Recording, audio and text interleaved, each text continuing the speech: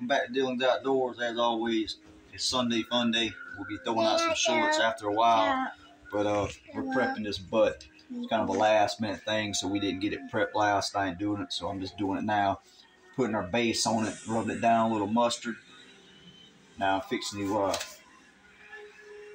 put a little seasoning on. So I think we're gonna do a little butt rub we get from the local grocery store. We're Okay.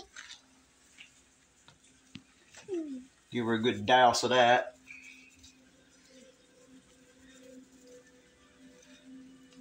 I've been getting inside sometimes.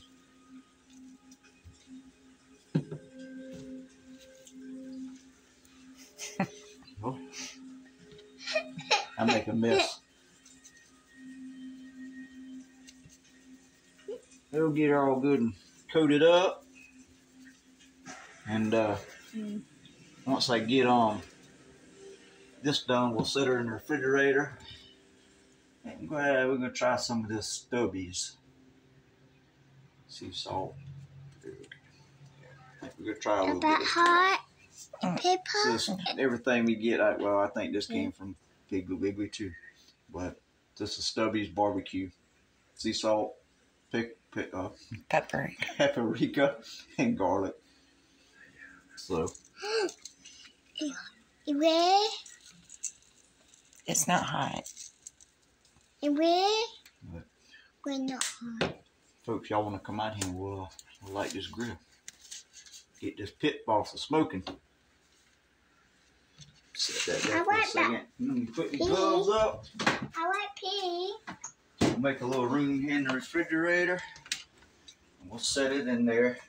I like I have to get my spritz bottle ready with the vinegar so we can keep it sprayed as it's cooking. Um, my wife will take care of it later on this evening when it's smoking. Maybe she'll do updates on it. I am going to get the tree stand this evening. We're trying to put out some hunting videos, and uh, we just really ain't had no luck as far as seeing many deer. What two little six points is what I got on video. So um, let's go out here and we'll, we'll light this pit boss up. We're just gonna use some regular. Uh, excuse the TV, it's a little loud. You know, watching the movie. We're gonna get it fired up. today. Too late my line. We're not using any special pellet or anything. We're just using the standard oak pellet. Um, we do have some apple. I probably should have changed, but before it's said done, the apple probably get put in here at the end because I don't know how many we got. So, yeah, probably before it's said and done.